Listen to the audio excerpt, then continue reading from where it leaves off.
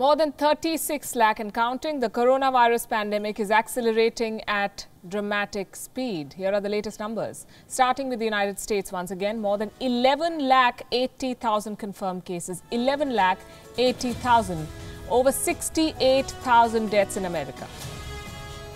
In Spain, the curve seems to be flattening, more than 2 lakh 18,000 cases there. More than 2 lakh 11,000 infections in Italy. The United Kingdom is inching closer to the 2 lakh mark. France has close to 1 lakh 70,000 cases. The situation is getting worse in India.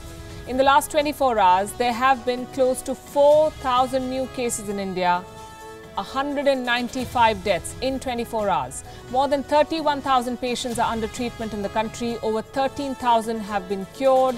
More than 1,500 people have died due to the coronavirus in India.